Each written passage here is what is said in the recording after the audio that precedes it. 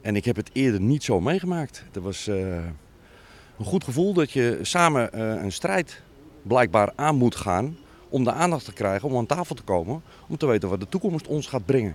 De bedrijfsschool van Tata Steel barst bij de FNV-bijeenkomsten vandaag uit haar voegen. Deze medewerkers moeten zelfs wachten op een extra sessie.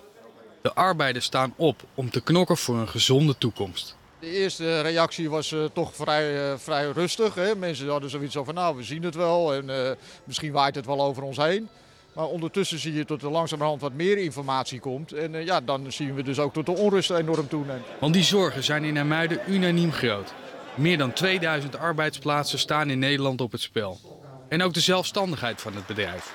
Tot grote ergernis groeien het aantal vragen, maar blijven antwoorden uit. Ik merk toch wel een grote bezorgdheid, ook bij mezelf. Maar ook, je hebt de eerste bijeenkomst gezien, een van de vele die nog gaan volgen.